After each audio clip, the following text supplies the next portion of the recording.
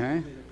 So thank you very much, and thank you, thank you for the possibility to be able to present some of my results. I mean, this is work.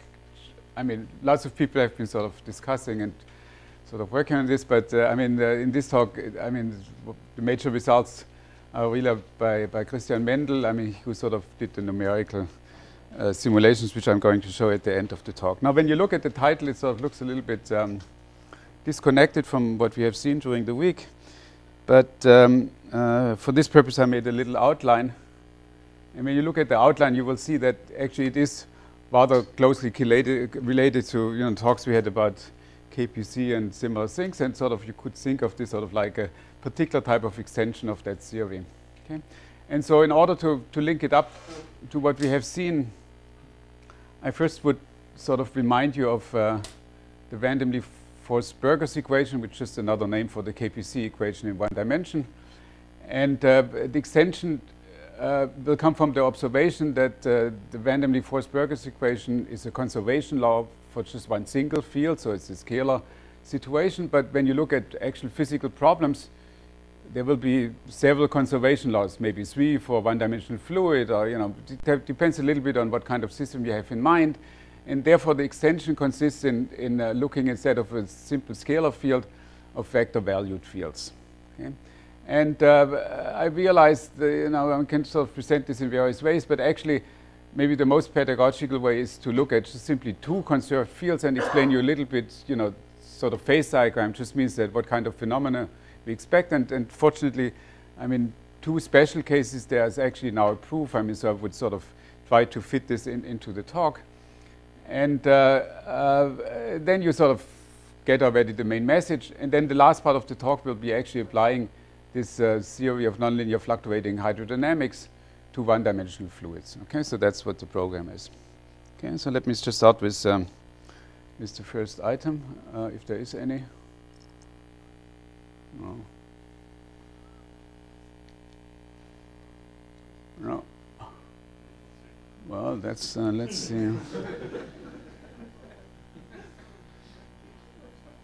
well, that's of course a very good start here. Oh. What's happening? Well, that's just, just, just empty. An empty, an empty file here. I mean, maybe, uh, well, maybe I, I, I, do the escape. I mean, so let's see. Uh, what's happening here?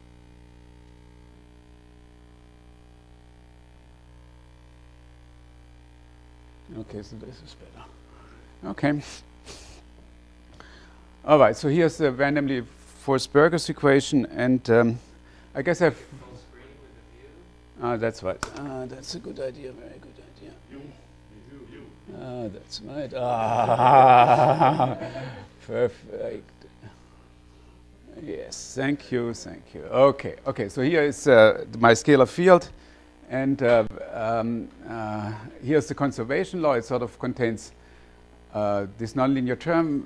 And uh, I mean, the capital letters are simply numbers. I mean, these are the coupling constants. And I mean, there's a particular reason why I don't want to put them equal to one, because later on they will play a role. And so let me keep here the cap. Um, mostly I put them to one, but I mean, when they're important, I keep them. So here, let me keep the, the capital G. And then here's the diffusive term and here and, and this one is uh, uh, this this one is the white noise okay? And uh, it's normalized white noise so you know it has standard strength one. And these are sort of the usual ingredients okay? Now what we are really interested in is, is the large scale so if you integrate once I mean this is the KPZ equation what we're interested in is really the large x and t behavior. And in fact I will show you so I'm taking this equation not sort of that seriously in fact, I will show you local distortions of this equation which have no similarity whatsoever, but nevertheless on the large scale they will look exactly like this continuum equation. Jurek has a question. So what does it mean qualify a conserved field? Because it satisfies the conservation law. Here is the conservation law. It's just a one-dimensional conservation law. Time change of phi is equal to the derivative of the current. Okay? And the current has three pieces. It has a nonlinear piece, it has sort of a, a dissipative piece which wants to make it smooth, and it has the noise. Okay? Now, uh, I should mention that, of course, people have looked at this equation. There's very well-known work by, by A. Khanin, Mazel, and Sinai, sort of uh, 14 years back. They looked exactly at the same equation, but they were interested in a totally different limit. I mean, they sort of wanted to know what is sort of, you know, the, the solution behavior at very, very small distances. And it's just a different world. I mean, there's no connection whatsoever. I mean, you know, if you start distorting this equation on a short scale, then of course, you know, what, what, they are discussing, I mean, uh, will look totally different. I mean, you know, they, they really have to take this equation at short distances extremely seriously. I don't take it very seriously at short distances, but I want to understand the long time behavior. Uh, the second thing, which is sort of uh, not necessarily so, but I mean will be done for the rest of the talk, is that I want to look at the stationary solution of this uh, equation. So I'm looking at mean zero. I mean there is uh, freedom in shifting the mean. I will always look at the mean zero case, and it should be stationary. Okay, so that's that, that's the object of study. Now about this equation we know a lot. I mean, so first of all, there's a stationary measure. I mean, so uh, if I look in the stationary process just at one given time, uh, then uh, uh, it will be will have the distribution of spatial white noise. Okay, so it's delta correlated in x. And of course, if you are integrated once, I mean, this means that for the KPZ equation, sort of Brownian motion, two-sided Brownian motion is actually the stationary measure. And that's sort of uh, an issue which, which uh, has been studied. I mean, I mean, Martin, I put here Martin because, you know, I mean, he knows how to make sense out of this equation. And then there's this paper by Funaki and Quastel who studied more carefully actually the stationary measure for the KPZ equation, which in some sense translates to what I'm writing out here. Now the object which you want to know is sort of like every sort of like, you know, what you would like to know in, in, in statistical mechanics. You look at the stationary process and then just you want just to study the stationary covariance, right? And so that's it. Okay. Now this, this, this uh, stationary covariance, which I denote here by, by, by S, uh, I mean, because it's, uh, you know, because white noise is stationary, so at time t equals zero, which is delta correlated, so it starts off with a delta function. And um, in fact, because of the conservation law, I mean, the mass will be conserved, so the integral is always one. And it so happens that, uh, well, because of the sort of left-right symmetry of, the, of, of our problem, I mean, you know, it will be an even function. And it so happens that s is actually a function which is non-negative. And therefore, I can think of this actually as a probability measure in x at time t. Okay? Uh, and uh, I mean, those who know particle systems, of course, it comes because it's sort of, you know, the it's sort of the distribution of the of the second-class particle at time t, and therefore it's sort of natural to have this type of properties. Now we know that this object will have a uh, will have a scaling limit once we know at distances of order t to the two thirds, and uh, there's, there's a universal scaling function, which I call here FKPZ. Uh, and uh, if you do this, uh, you know, what I mean by this statement a little bit more precisely is that when I look at x and t of this order, then you will see sort of this particular scaling form with a function which has been computed. Now, of course, uh, you, you, know, you might ask, what is exactly the state as well? It's fairly easy to say. I mean, uh, uh, you know, this particular scaling limit has been sort of proved in versions which are in the same class. I mean, so in particular has been proved for what is called the polynuclear growth model and the totally asymmetric simple exclusion. But as I, if I understand this correctly, I mean, you know, I mean, we are sort of very close that it actually has been also proved for the for the Burgers equation itself, right? I mean, it's a sort of work on progress, but you know, maybe another few months. I mean, maybe we actually get the same result also directly for the Burgers equation. Okay, so in that sense, you know, this one component sy uh, system is, is, is, pretty well understood, and the quantity which we are interested in is actually sort of been, has been computed. And this function fkpz you will see later on graphs, but I mean, just sort of give you a feeling, it's an even function. It has actually a rather rapid, it's a smooth function, has a rapid decay, like e to the minus x cubed. So it looks something like this. Okay? Now, there's one point which I would like to emphasize, namely, um, you know, there's this non-universal factor, which, which I call here lambda b, which uh, uh, you first, of course, uh, see that if you just look at the scaling properties of your equation, you discover that it must be proportional to the coupling constant. Okay. Now here, uh, maybe I should say another wing, uh, thing. I mean, so you see, I have normalized in such a way that the stationary measure has unit strength, and therefore uh, you know, if I do this integral, I mean, because it's probability measure, it's one and just sort of reflects that, that you know, my, my stationary measure has, uh, strength 1. I mean, if I would sort of modify the strength of the measure, then there would be extra factors. Anyway, so, so the, the main point which I want to look at here is this non-universal lambda b. And, and uh, of course, by scaling, I mean, we know that it has to depend simply on the couplings constant. But then there is this, this prefactor which we only can get from the exact solution, right? So the exact solution provides us, uh, the exact solution provides us this function and also the way how, how the, the non-universal properties, which is this, this, this uh, coupling constant, actually enter into the scaling. Okay. Yes? Yes?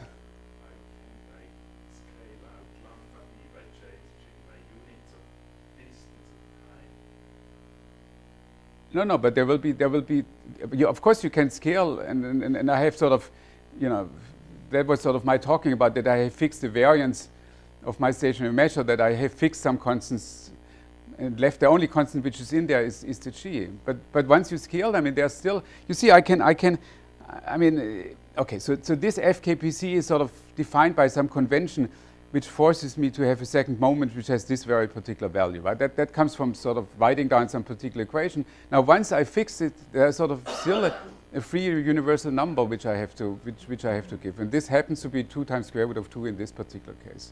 Okay? The g depends on g is, as you said, it's just scaling. All right, so, so uh, from that perspective, I would say that the one component stationary case is sort of pretty much under control. We have an exact solution. We know what the scaling functions are. And of course, you know, in principle, there's more work to be done. But I mean, uh, at least for my purposes, I mean, that's already very good here. Okay, okay now let's come to the two component system. And so you see that um, you do sort of more or less the obvious thing with, with sort of a few extra twists. And so the first very important twist is that um, so you see here I'm writing down this equation which sort of looks very similar. The only thing which I did is sort of put here sort of an index alpha and alpha has now two components because I have two fields, I mean phi 1 and phi 2. Okay? But now we have one extra very important point is that these two fields might move with a constant velocity. And so in the one component case, we could always go to the moving frame of reference, but here this we can sort of you know, never get rid of. And therefore, the basic assumption is that, that these two velocities are actually distinct. If they would be the same, then the properties are completely different. Okay? Now the couplings now become two by two matrices, which are symmetric. So these are these couplings G alpha. Here you see the quadratic term. Here you see the fact that these modes can sort of move with a constant velocity, which I call C alpha. Then there's a dissipative part. The D is now a two by two matrix. You can couple the two components. And uh, of course, uh, you know, the, the two noise components are actually independent. But the square root of d, I mean, can, can couple them. I will comment in a second why I put it in this particular way. Okay? So.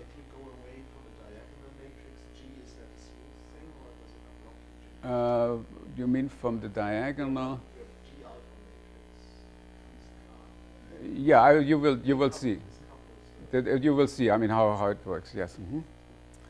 Okay, so this this is now sort of the two-component generalization, and from this you can sort of more or less imagine what the n-component generalization would be. Okay. Now, I have written this equation in something which I call the normal mode representation. And the normal mode representation simply means the following two things. I mean, you see, when you, when you start some equation which you want to actually study, typically what happens when you do this linearization, that you will get a non-trivial linearization matrix, and this you have to diagonalize first. And so you see here I've written already the linear part in diagonal form. This is what I mean by normal mode. And then there's another normalization which is simply convenient, but which I will sort of do throughout, is that uh, uh, I, I, put here, you know, the, the, the, D appears here also again in the noise strength. And that simply means that uh, the invariant measure, um, I've normalized things in such a way that the invariant measure is actually uh, has, has unit variance. Okay, so this is sort of coming down here in a more precise definition. So, so this is a choice which one always can do, and so I'm just using this particular simplification. Okay. Uh, yeah, each, each, each component is will be normalized to one, right? And in fact, you know, at time t equals zero, they will be independent, right? Yes, Jörg? Oh, it does. That's, I'm sorry. I mean, it's it's a, it's a, it's it's D acting on the vector two vector and then the component alpha. So D is a two by two matrix, right? Okay. Okay. Now we, the object of interest is sort of this, this stationary covariance. I mean, so I've sort of written down the obvious definition. And uh, one observation, you know, sort of, if you want to sort of more empirical observation, is that uh, I mean, there's no reason why, why, why, this matrix in, in alpha and beta should be diagonal, but it so happens that when I look at long times, I mean, you know, in this particular representation, it always becomes diagonal. And, and therefore, you know, what I'm going to show you and what, what I will discuss only is always sort of this, this, this, uh, this diagonal sort of uh, entries of this matrix. So, of course, there are off diagonal elements. The claim is that they're actually very small. And uh, when you look at, at time t equals zero, I mean, this is the normalization which I'm using, that at time t equals zero, I mean, it's really strictly diagonal, the two components are independent in the stationary measure, and it's white noise. So, so at, at time t equals zero, it will be just a delta, right? So the stationary measure of this two component system, if I, if I sort of put, if I sort of make a small modifications maybe in the G alpha, is again, each component is white noise and the two components are independent and they are normalized to one. That's sort of what the initial condition is, so to speak, at time t equals zero. Okay? All right, now let's see what, what can happen. And uh, the, the, the, the, important observation is that um, uh, let's just look first at the, at, at, at, at, at uh, the case where all the couplings are zero. And so I put here the G alpha equal to zero. And then, of course, uh, you have simply a Gaussian theory, but the, the, the, simple observation is that when I look at very long times, I mean, you have these two peaks which are uh, moving. I mean, the leading term is, is always sort of the first order term, so, so you have just two peaks which are moving with distinct velocities, and as they move, they decouple. And the variance, of, of course, is only by given by the, by the 1 1 element of the diffusion matrix and by the 2 2. So the modes decouple as t goes to infinity, and of course, they are diffusive. Okay? So that's a very simple case, and now we want to sort of look at, at, at the more complicated case. And so here I've sort of pictorially written these two coupling matrices. So this is for component one, that's for component two. And the first observation is that these off-diagonal elements actually play no role. I mean, so I'm just put them equal to zero, or you might put them sort of to some value so that, that the invariant measure is actually Gaussian. Anyway, so, so this is sort of, and so we have to concentrate on the value of these two sort of uh, diagonal entries. Okay? Now, the first claim is that when these wet entries happen to be different from zero, then you see you get a self-coupling. I mean, this means that um, this means that uh, that the phi one couples to phi one squared, and this means that the phi two couples to phi two squared. And the claim is that in this case, you have the same sort of uh, mechanism as for the single component system, in the sense that when I look at sufficiently large, large times, it will decouple, but now, of course, it decouples into two independent Burgers equations. So the cross couplings are subleading. If they are different, claim is two KPZ peaks, and here's sort of the picture which I've drawn. Now that's of course far from any proof. I mean, that would be of course very nice to prove something like that, that even in the nonlinear theory you have this decoupling, but that's sort of a standard assumption. Okay? And now let's come to a few cases which are a little bit different and which are sort of, you know, more, more, more accessible to, to proofs. So uh, now let's let's simply assume that that uh, I'm not not covering everything. I mean that would take too long. But I mean let me sort of things which I think are instructive. So let me assume that that that the two uh, self-coupling terms are actually zero. You know this might be happening because there's some symmetry in the system, or uh, typically it's some extra symmetry which simply forces them to be zero. Okay, so it's not not not just an academic exercise. I mean these things do sort of occur in real applications. And so let's first look at at, at the case which sort of looks uh, rather trivial, namely, uh, I only keep this term. So you see that the phi 1 satisfies an equation by itself, but for the phi 2, I put here the phi 1 squared. Question is what happens in this case, right? So, so uh, that's a, the, the, most simplest version beyond what you, what you have uh, for the completely decoupled system. Well, the first component certainly will be simply diffusive, so that's what I've written down, down here. It's, it's, it's moving with uh, it's moving with a velocity c1. And the claim is that when I look at the second component, of course it moves with, with c2, but then actually what you will see is, uh, is a Levy distribution. So that's uh, sort of the alpha stable law with, with an exponents we have. And uh, it will be, it's completely or, or, maximal asymmetric version. So here I've sort of uh, written down what I mean. If I take the Fourier transform of the scaling function, then it uh, looks like e to the minus k to the 3 half, but then there's sort of, uh, uh, sort of an extra phase factor over here, and this beta has to be put sort of it to its maximal values, where you know the original function still defines the probability density. So that's the maximally asymmetric Levy one half distribution, uh, Levy three half distribution. Okay. Now um, there is a yes. Also should have a. Hmm? Equation for. Oh yeah, sorry. I mean, uh, sorry. Yeah, thank you very much. I mean, I should have written this. Yes, perfectly. Yes. Mm -hmm.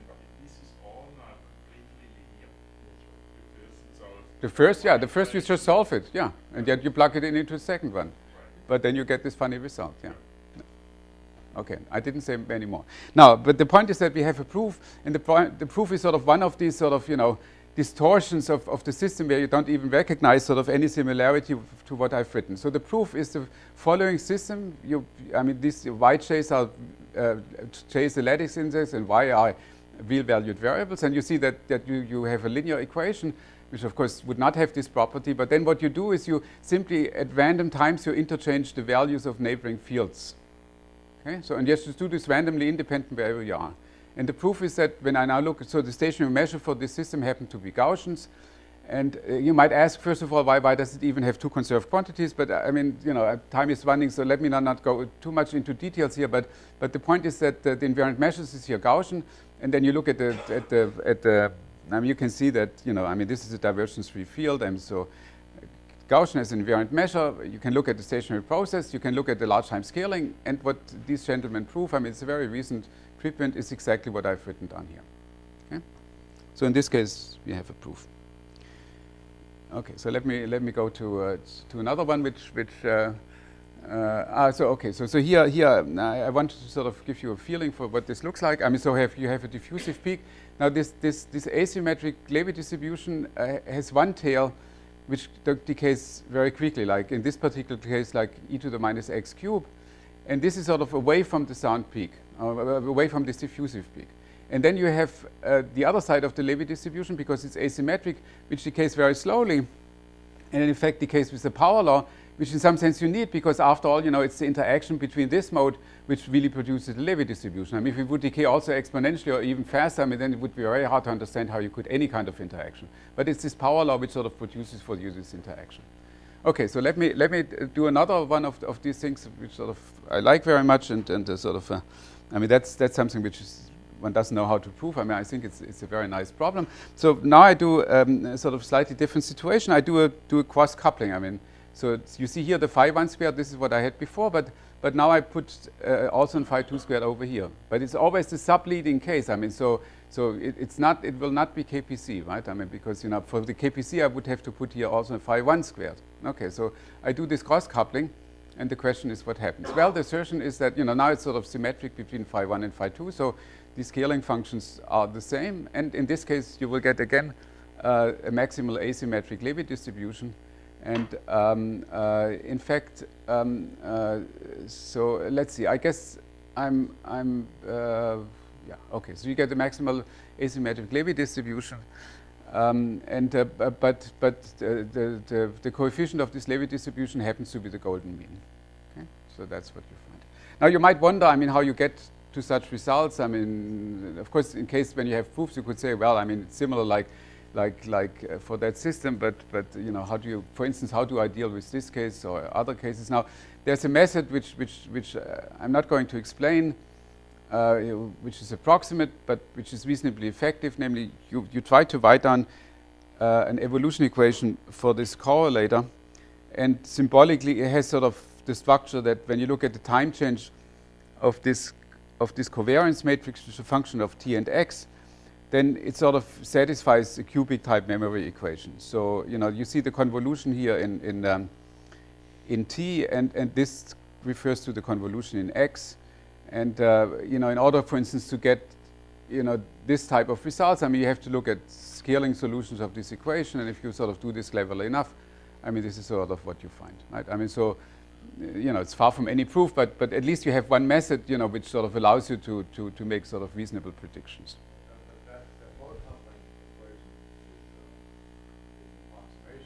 Oh, it's a definite approximation. I mean, it's sort of a decoupling. I mean, you know, you sort of at some stage of your computation, you sort of.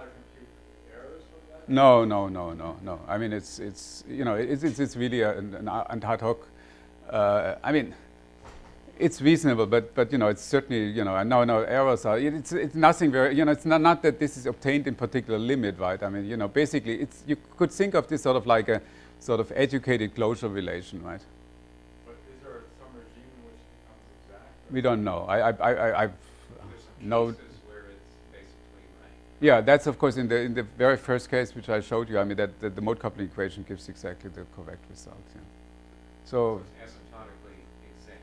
It's sort of asymptotically exact in this particular case. Yeah, but but in general, I mean, sort of presumably not. Okay, so you should think this sort of more like like a tool to make predictions because if I just look at the equation, I mean, you know, you will not you will not see the Levy distribution coming out. But if I look at the mode coupling equation, you will. Okay. All right. So uh, uh, okay. So this looks fine. So so now I'm sort of come to the second half of this talk, namely uh, the issue. Um, yeah, yeah. No. So so so. Okay. So so uh, let me go back to, to to so so the claim is the following: If I if I first give you the leading couplings, right? I mean, so I give you the entries over this matrix. And then if I appropriately adjust the sort of irrelevant couplings, I mean, so, you know, they of course depend on the diagonal things, then I can adjust them in such a way that the invariant measure is a product measure. Right? That, that, that's a precise assertion, right? And so this is sort of what I mentally I'm, I'm sort of thinking of. And of course, you know, when, whenever people study concrete model, I mean, you can do it only if it's a product, right? I mean, so this is why you Okay. Hmm? Well, no, I mean, I just, I mean, not, but I mean, then, then we cannot do any analysis. And then maybe, I should, I mean, because uh, I just see this up here. You see that there's an, there's an interesting case which so far is not really under control, but would be very interesting to solve is that if instead of this linear potential here, or let's say the quadratic potential, I mean, and then the linear drift term here, you take, you take some other function, okay? And surprisingly enough, you know, like, like in other sort of corners of, of this subject, you should take here the exponential function. And the exponential function sort of seems to be the one, you know, where you could actually, I mean, there they actually bounds, and, and, and, and uh, in this case, you get, you, you get one KPZ mode and, and, and one sort of uh, Levy uh, five-thirds mode, and, and, and that, that's sort of the, the, model which people are trying to, to get at, right? I mean, of course, it's much more difficult than this linear case. Anyway, so now I promise to continue with, with the fluids. And so here are my one-dimensional fluids. So, so I explain you a little bit, but of course, you know, eventually I would like to show you how this sort of nonlinear fluctuating hydrodynamics actually does describe the long-time behavior, long-time and large-scale behavior of, of fluids. Okay, and uh, of course, I you know, it makes no sense to do this in any great generality. So, so we, we, we look here, here is sort of my Hamiltonian. So these are classical particles on the line. Position momentum, mass is equal to 1. I mean, here's the interaction potential. We take a very special interaction potential, which, which is the hard shoulder potential, which is depicted over here. So that's 1. I mean, this, this step is sort of sitting at 1 half, and then the potential sort of goes up to infinity. Okay, so you see that the ordering is preserved, and uh, the, the minimal distance between neighboring particles is exactly 1 half. Okay? Now, I, I, I, put the potential in such a sort of uh, special way to make sure that there's interaction only between nearest neighbors. That simplifies life enormously. And uh, uh, so maybe, uh, yeah, maybe, maybe I first sort of show you, you know, the type of dynamics which can happen. I mean, that's sort of uh, fairly easy. I mean, so first of all, if two particles sort of, you know, happen to be one half away, I mean, then they're sitting at this hard core, and then just do a specular reflection. So this one is sort of displaced and sort of continues over here, and this pulse comes from this side, dis displaced by one half and then continues exactly with the same velocity on the other side. So that's just a specular reflection between two particles. But when, when they are distance one, I mean, then of course you have sort of two situations. You have sort of, you know, the, the low energy situation or, or, low relative momentum situation uh, where they are simply reflected. So, so this is when they are sitting at distance one, but then they can have sufficiently high energy. And that sort of is the whole deviation from having, you know, sort of a completely integrable system. And if I you know, if I would just take a hard core, then, then uh, you know, would be essentially the same as an ideal gas, and so which sort of uh, can integrate. But this one is sort of the deviation from the ideal gas. I mean, so if I come with sufficient high energy, they will sort of move over this potential barrier and they will slow down a little bit and then of course eventually they will sort of do the collision. But now you have other particles interfering and so eventually the hope is that this dynamics is sufficiently sort of mixing and, and, and really you know strongly interacting system so we can actually do apply such type of hydrodynamics theory. Okay? Now the way you do this is that, that you think of this as a lattice field theory and for this purpose um, you introduce uh, what I learned actually I used other terms before but now I learned this, this term stretch, which actually I like. I mean, that's just sort of, you know, tells you how much things are stretched. It's just the difference between neighboring particles, okay? And then you write down your, your, your evolution equation, which simply take this form. And then, of course, this one is already of conservation form, but then there's, of course, another uh, conserved quantity, which is, uh, which is the energy, which is sort of given in terms of these variables, is simply the kinetic energy plus, plus the potential energy of a neighboring pair. That's the squared, correct, yes. All right, so, so you see it's, it's, a, it's, a, it's a very, very, very simple system.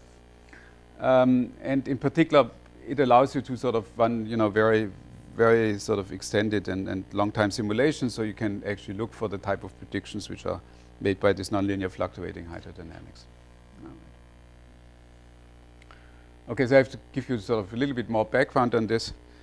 Uh, uh, okay, so first of all, we, we, we can look at at at, uh, at the equilibrium measures. So of course, there are there, are Gibbs, and in the limit of an infinite volume, I mean, you know, actually independent and and uh, uh, okay, we, we, take here zero momentum, so so the momenta are uh, distributed according to a Maxwellian, and and the positions are distributed like e to the minus beta of this potential. But then, you know, there's, there's because we have this, this, this, extra conservation law. I mean, the R's are a conserved field. You know, when, when you uh, go to the infinite volume limit, this introduces an extra Lagrange parameter, which is this P. So the real potential is the potential plus a linear piece. And this P, when you, you know, just look at this formula, you see that this P is nothing else but the average force, and therefore, you know, on a given particle, and therefore, this is uh, what, what you would call the pressure. So physically P is the pressure. So by changing P, you can change sort of the distance to the stretch between particles, and that sort of course some pressure on the system. Okay. Okay, so uh, now we have a stationary measure. You know, we have a deterministic dynamics, but nevertheless, uh, we have a stationary stochastic process.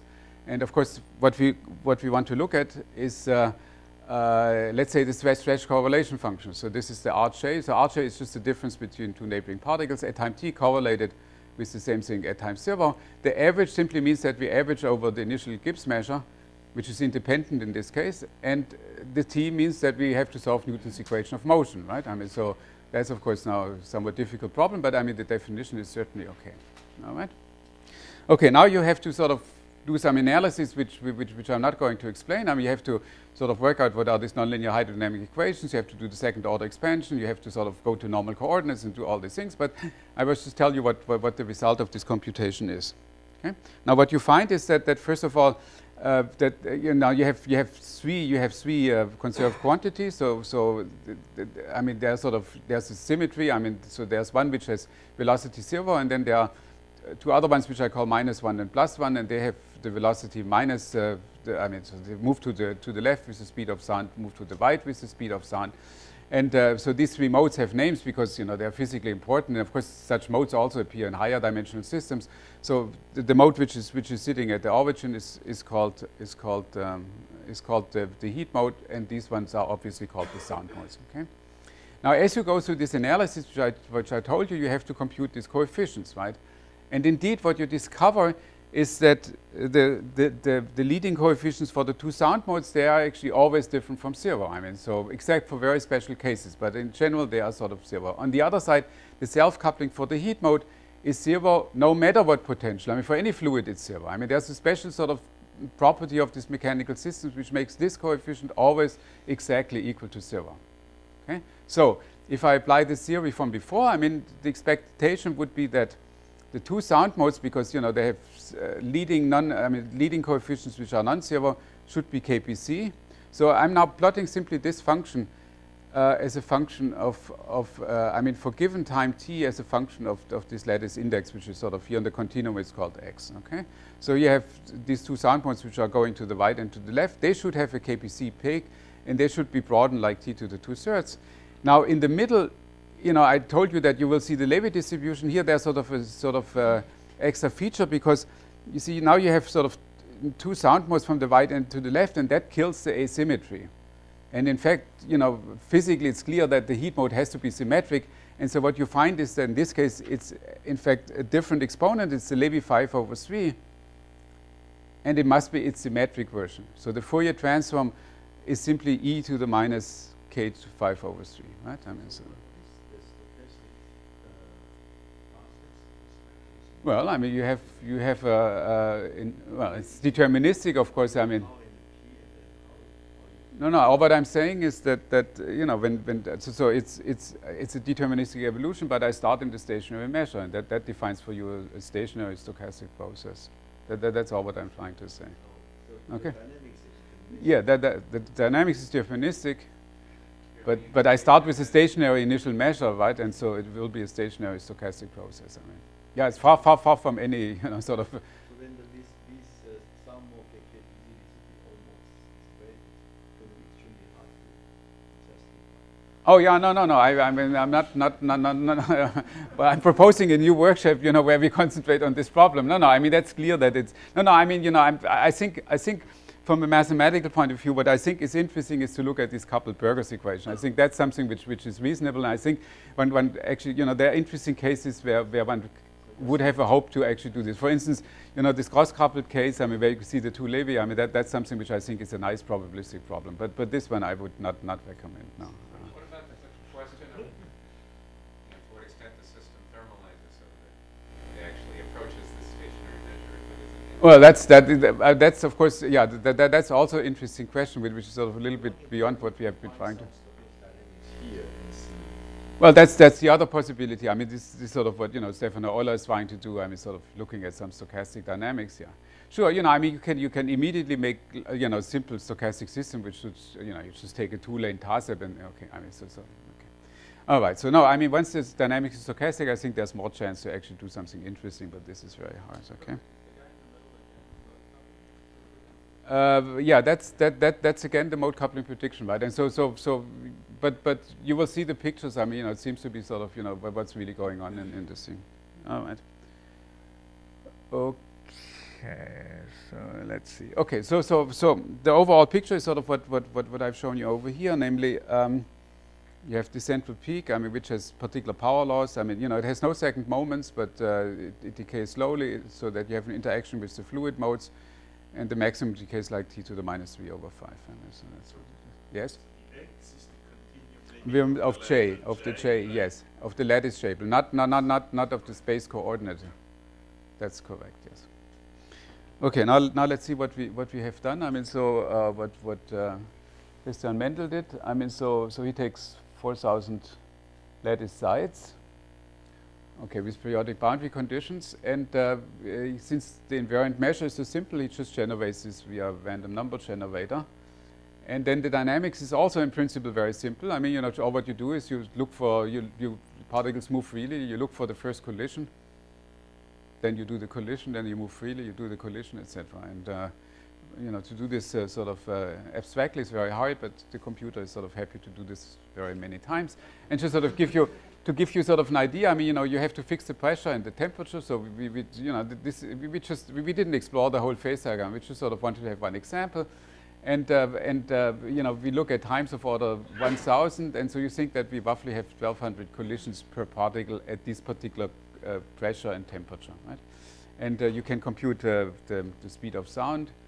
Uh, and uh, so you see that the time is such that, that, that the, you know, I mean, the sound peaks are going on a, on, on a ring, and so eventually will collide, but the time is short enough so that, that they actually never collide. And you can compute what is called the Landau-Placzek ratios, which is sort of the areas under the three peaks. And so, uh, you know, we, we just try to take sort of um, um, reasonable um, parameters. Um, okay, and then, then eventually, in order to get good data, I mean, you have to average over over many initial phase points. I mean, so you have to repeat this sort of 10 million times, and then you get see data which are, as you can see in a moment, I mean, which are sufficiently smooth. Okay, so let me just show you what, what it looks like. So, so here are the three peaks. So this one, this one is, is, is the heat peak, and these are the two sound peaks. And uh, uh, you know, if I really would have to do the stretch-stretch correlation, then I would have sort of change the area, sort of deform, sort of, uh, and, and, and change the area a little bit, but, but th th that's sort of what it looks like, okay? So from this picture, of course, you cannot see so much, but uh, at least you can see that the data are such that you have sort of fairly smooth curves. And uh, when you look now at the next picture, I guess this is the heat peak. And so you see what, what we have done is we, we, uh, we, we, just put the scaling 3 over 5. I mean, you know, we plot here, I mean, this, this uh, purple curve is, uh, is the stable Levy distribution with uh, the exponent 5 over 3. And then there's one free parameter. I mean, the free parameter is this, this lambda here, okay? I mean, this is sort of at that moment not really fixed. And so what we do is, since sort of both are probability distributions, we thought one very natural thing to do is just to compute the L1 difference between, between this distribution and the theoretical one. And then, and that of course depends on lambda, and then we simply optimize the lambda in such a way that, that this L1 difference is actually minimal. Okay? And what you find is sort of, uh, you know, sort of roughly 3% agreement, which sort of sort of agrees sort of what you roughly see sort of visually. Okay, I, I, will come back to, to this lambda at the end, but but at the moment you should just appreciate that that you know I mean it's it's a real one-dimensional fluid, and of course you do a lot of averaging, but eventually I mean you do get actually pretty precisely what was predicted by this nonlinear fluctuating hydrodynamics. Okay, let me show you the other one. Yes.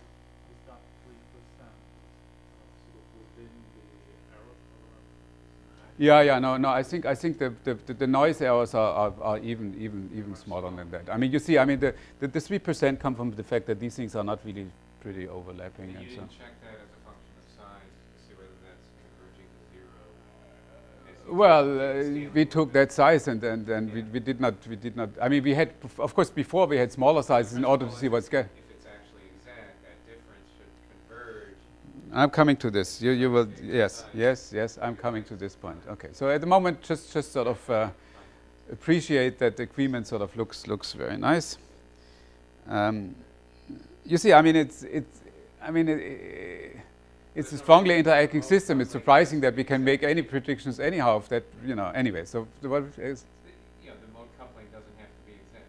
no, no, that's right. I mean, so one, one consequence of, of, of, you know, originally I always emphasized that the mode coupling could be very different, but I mean, one consequence of these simulations is that now I'm actually sort of convinced that the mode coupling actually also for that particular case gives you, gives you the correct, uh, it gives you the exact result, but maybe, maybe that's just sort of bias. I mean, okay. That's right, that's right, could very well be. Okay, so that's always a problem. Okay, now let me show you. Yes? This three percent is the this difference uh, percentage error between. Well, it's, it basically you take you, you, you, you take the difference of this function, you take absolute value, and you integrate it over all x, and this is what gives you three percent, right? Okay, So it's basically this all, all these things. If you sort of you know all this difference, if you add them up, I mean, gives you this 0.03. So what is the difference between the optimal lambda and the? That is the optimal lambda. Uh, you know, no, the difference between the optimal lambda and the lambda you get fluctuating. Well, coming to this, I mean, this, this, uh, yeah, that, that, that's a that, that's an expert question. So first, first, I want the audience to have sort of a picture at this thing. Okay, so next thing is is uh, the sound peak, and so you see that, uh, you know, again, I mean, this this this this. Uh, the, the, the dotted line is here is here the, the KPZ scaling function, which goes, goes like e to the minus x cube, and uh, you know you see now a different scaling exponent up here. You see that's a two third now, and this this this this uh, uh, and, uh, and and now you have sort sort of similar type of difference, right? It's exactly the same simulation, just sort of plotted in such a way that you can sort of actually see the. Hmm? No, no, this is not. Uh, I- I'll, I'll come to this, but that, that, that, that, that's not, not not what you should do. Okay.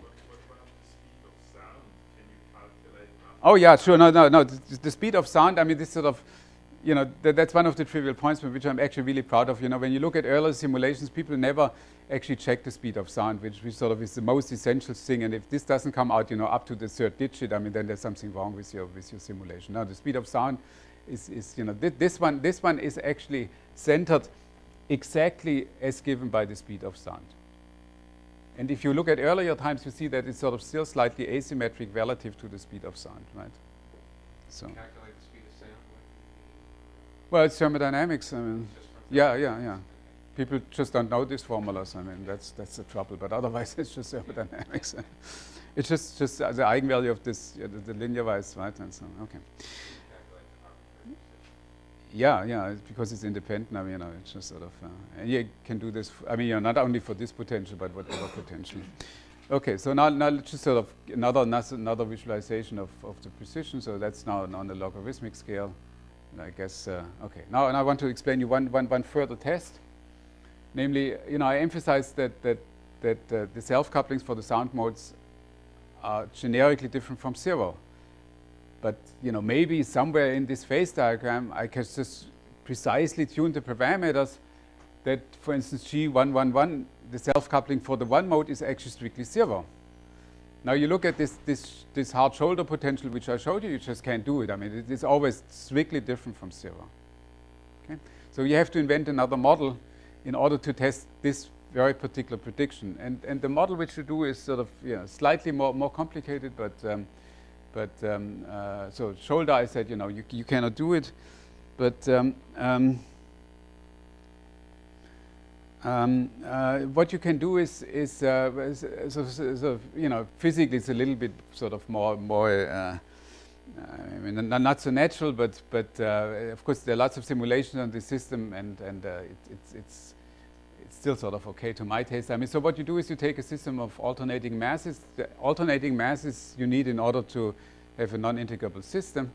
And you take a nearest neighbor potential which sort of has this particular shape. Okay, so it's sort of infinity at zero and then it's sort of also infinity at two. What this means is that you have two, two, ma- two, two of these particles, they move as they come sort of next to each other, they just have a hard collision. But now remember, it's a collision between par- particles of two of a different mass, right? I mean, so this is a non-trivial transformation of the velocities. So then they move out, and as they reach the maximal distance two, you will get exactly the same type of collision rule, but now inverse. I mean, they can never have a distance more than two. Okay. So that's again, you know, an easy potential, and you have to go through the algebra. And, and what you find is that indeed there is a special point, and the special point corresponds in our units to pressure zero, or if you want to, which is maybe physically more significant, to have an average sort of stretch of particles which is exactly one half. So you're sitting exactly here, and then you have sort of a symmetric potential, and then, then there are lots of cancellations, and that actually makes this particular coefficient to be zero, right? I mean, so that, that's actually an interesting test of the theory because, uh, you know, there should be something, you should see something very different. Okay, now you can actually work out what you should see, and and uh, and and the answer is that uh, uh, you should actually see two diffusive sound modes and the Levis we have symmetric. And for this case, there's also a proof of a distorted model, if you want so, and it- it's quite simple. I mean, it's uh, it's just a, a standard harmonic chain with nearest neighbor coupling. So just you know the things which you learn in the elementary textbooks, and you know you would say, well, that that's a really trivial system, and, and, and how come? I mean, how, how how should it have such type of behavior? Now you make it sort of speak nonlinear and mixing by again doing this random exchanges. So you, you have these particles, they sort of move, you know, just like in the harmonic chain, but once in a while you simply decide to randomly exchange neighboring velocities, not positions, just the velocities. And that sort of is sort of, you know, produces for you enough uh, randomness in order to make it interesting. And uh, uh, we took, again, sort of some reasonable parameters and the mass ratio is 3. And, and this is sort of the curve. So now you can see actually, I mean, this is, this, let's see, yeah, so, so this, this is, um, the, the S11. I mean, so this is the sound mode, and, and, and so you know now we, you know it's really still slightly asymmetric, and because we plotted not not mean zero, but relative to the theoretical sound mode. Okay, so okay, so that that's supposed to be a Gaussian, and um, and uh, this one is is the the Levy distribution. So it's also you know you also have the two search exponents sort of by accident, like in the KPZ equation, but it's a very different scaling function. It's it's it's the Levy three half, and so you have you know the, the slow tails and uh, no second moments, etc. Uh, yes.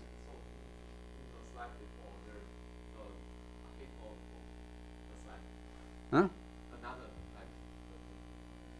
So the uh, hit mode uh, has different index, like three over two instead of five over three. Could you explain what determines it? Well, I mean, you know, that's sort of what I tried to explain to you in this in this in this two by two example. I mean, there we had the case where we had a sound mode, and the and and and and the three have Levy. Uh, you know, in fact, for this you, you even have a proof, right? And so so all what I'm saying is here here sort of now you have two two sound modes. I mean, so that's really you know, I mean, this this this work is is very similar to to to the paper by by. Bernardin and company, because uh, you know we, here they look at the model which has three modes, and because they are, they are, you know, to the right and the left. I mean, the Levy is not the maximal asymmetric, but it's a symmetric one. Uh, but you know, if you're interested in, in the mathematics, I mean, you can sort of everything is explained over here. That that's sort of a, uh, you know, uh, one example for which you can actually prove this behavior. Okay, so let's see, where are we? Okay, anyway, so conclusion here is that um, uh, you know it is the Levy with, with, a very very good precision. Yes. Hmm? Well, you know, it, it, it well, uh, you think it's skewed? Oh, this. Oh well, well, yeah, because it's it's it's you know. I mean, uh, good point. So, question is, where is um, uh, so so so the the the, um, the heat mode with velocity zero is sitting somewhere over here, right? And so my interpretation is, you know, they are of course they are not not plotted here, but they are these tails of the heat mode, and so they push this sort of a little bit out, right? So you know, it's, it's a, I mean, of course, it's very very nice Gaussian, but so still still a little bit sort of pushed outside. Right? Okay, very good.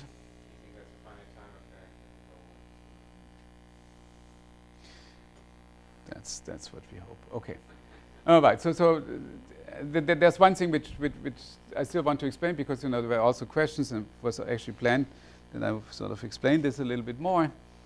Uh, so, but, but, but first, sort of, you know, let, let, let, let me summarize. I mean, that uh, uh, at least for this very particular system, I mean, we sort of seem to find, you know, uh, sort of quite amazingly precise uh, agreement between predictions of nonlinear fluctuating hydrodynamics and sort of the, the molecular dynamic simulations of that one-dimensional system. Now, of course, the claim is here that uh, you know this is not special for for fluids. I mean, any any one-dimensional system which has sort of conservation laws and which has a non-trivial uh, hydrodynamics should have exactly this type of behavior. Now, in which class you fall, I mean, you have to sort of work a little bit, but but the point is that that you know the, the, this method actually should be rather sort of general, and in particular should also uh, you know work for strongly interacting quantum systems. You know, there's, I mean, it, it's, it's a general, generic sort of theory. Okay, of course it has to be one mean, otherwise it wouldn't be true. Okay.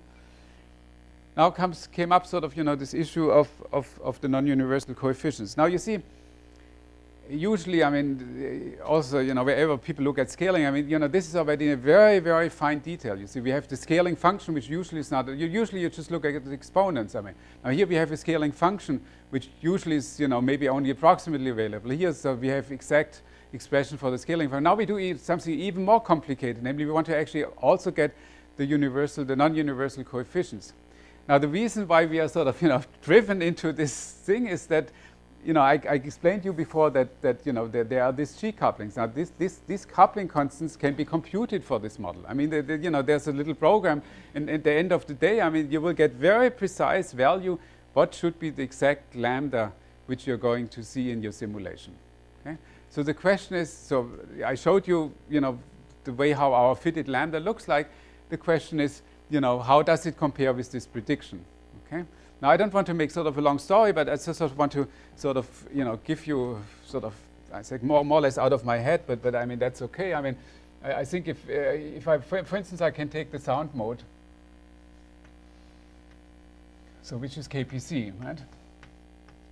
And so you see there's this, this, this factor sort of G111, which we simply have to compute, but it's some number which you can imagine we compute, okay? Depends, of course, on temperature and, and, and pressure and all these things, okay?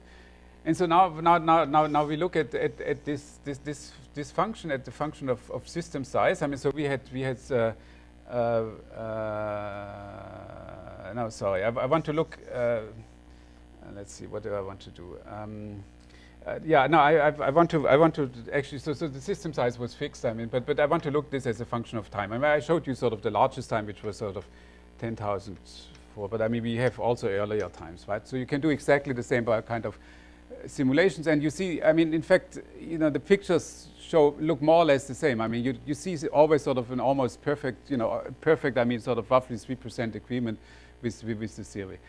And now here I plot the lambda, okay? And so, so what you find is that, that, that you know, the, the, the, true, if you believe, you know, of course you have to make n also very large, the true asymptotic value as computed from this thing is something like 1.04, right? I mean, this is sort of what we are heading for.